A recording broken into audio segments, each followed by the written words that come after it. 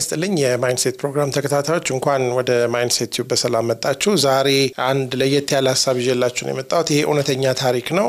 ካፕቴን ቶም ሙር የሚባሉ እንግሊዛዊ ሰው ታሪክ ነው። እርግጥ እኚህን ሰው በኮቪድ ጊዜ ብዙዎቻችሁ ልታውቋቸው ትችላላችሁ፣ ግን የማናውቃቸውም ሰዎች ልንኖር እንችላለን። እኚህ ሰው በዛን ጊዜ የ99 ዓመት በጣም ያረጁ ትልቅ ሰው ነበሩ እና ወድቀው እዚህ hip joint የሚባለው ሟየት ነው የሚባለው መሰለኝ እዚህ ከወገባቸው በታች ያለው እግራቸውና ሌላው አካላችን የሚገናኙበት ቦታ ላይ ተሰብረው ስለነበረ ከፍተኛ ሕክምና ተደርጎላቸው በታዋቂ ሆስፒታል ውስጥ ታክመው ይወጣሉ ተሽሏቸው እና ሲወጡ በጣም የሆስፒታሉ እንክብካቤ ነርሶ ዶክተሮቹ ሐኪሞቹ ያደረጉላቸው ነገር በጣም ከፍተኛ ውለታ ይሰማቸዋል እና እኚህ ሰው ምን ላደርግ ይችላለሁ ብለው ብዙ አሰቡ። እንግዲህ ዘጠና ዘጠኝ ዓመት ሰው ምን ሊያደርግ ይችላል? በኋላ ግን አንድ ሀሳብ መጣላቸው። ምንም ዘጠና ዘጠኝ ዓመትም ቢሆን እኔ የምችለውን አደርጋለሁ ብለው ይሄ ጎማ ያለው እንዲህ ተደግፈው የሚገፋ ስዕሉ ላይ እንደምታዩት ጋሪ ይዘው ነው የሚሄዱት ቤት ውስጥም። ከዛ ምን ወሰኑ? እሳቸው ያሉበትን የሚኖሩበትን ህንፃ ዙሪያ ያለውን የአትክልት ስፍራ መንገድ አለው። እሱን መዞር ጀመሩ እና መቶ ዓመት እስኪሞላኝ መቶ ጊዜ ዞራለሁ እና በዚህ በምዞርበት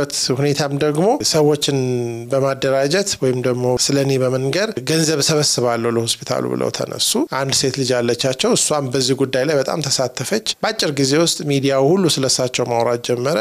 በእንግሊዝ ሀገር ብቻ ሳይሆን በዓለም ዙሪያ ታዋቂ ሆኑ። ያንን የጀመሩትን ነገር ሳያቋርጡ መቶ ጊዜ በመዞር የመቶ ዓመት ዕድሜ ሲሞላቸው ያንን ያሉትን ጨረሱ።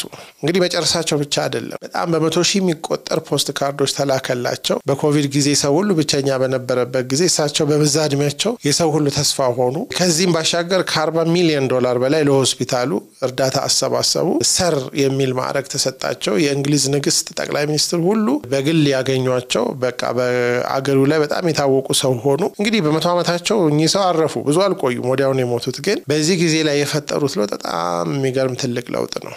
እንግዲህ የ99 ዓመት ሰው ታማሚ ምንም ይሄ የሚባል ገንዘብ የሌላቸው ሰው ነገር ግን ቆርጠው በመነሳት ያደረጉትን ነገር ስንመለከት በጣም አስገራሚ ነው። እዚህ ታች link ኡን እተውላቸዋለሁ። ዩቲዩብ ላይ በጣም ብዙ ታሪካቸው አለ፣ ቢቢሲ የሚያወጣው እሱንም ብታዩት ደስ ይለኛል። ወይ በእድሜያችን ወይ በኢኮኖሚ ሁኔታችን በተለያየ ምክንያት እኔ ምንም አይነት ተጽዕኖ አላመጣም ብለን ራሳችን ላይ የምንወስነው ውሳኔ ወይም ብያኔ አለ።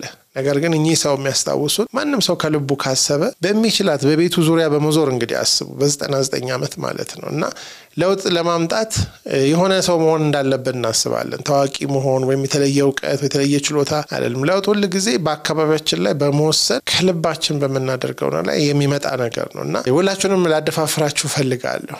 ምናልባት እንደዚህ ሰው በዓለም ታዋቂ ላንሆን እንችላለን። እድለኛ ስለነበሩ ታዋቂ ሊሆኑ ችለዋል። ነገር ግን እያንዳንዳችን ተጽዕኖ መፍጠር እንችላለን በቤታችን በዙሪያችን፣ በጎረቤቶቻችን፣ በጓደኞቻችን ማን ያውቃል ፈጣሪ ደግሞ ካለ በሀገራችንና በዓለም ላይም ተጽዕኖ የምናመጣ ሰዎች ልንሆን እንችላለን እና የኚህን የካፕቴን ቶም ሙር አሁን ሰር ቶም ሙር ነው የሚባሉት ከመሞታቸው በፊት ማለት ነው ለእሳቸው የተደረገው ነገር በጣም አስገራሚ ነው። እሳቸውም ደግሞ የፈጠሩት ተጽዕኖ ከፍተኛ ነው እና ሁላችሁንም ትንንሽ ልጆችንም አዋቂዎችንም ወንዶችንም ሴቶችንም የተማራችሁም ያልተማራችሁም በኢኮኖሚ ዝቅ ያላችሁ በጣም ከፍተኛ ላይ ያላችሁትም ያንን ያለንን ተጽዕኖ ተጠቅመን positive ለውጥ ማምጣት እንችላለን።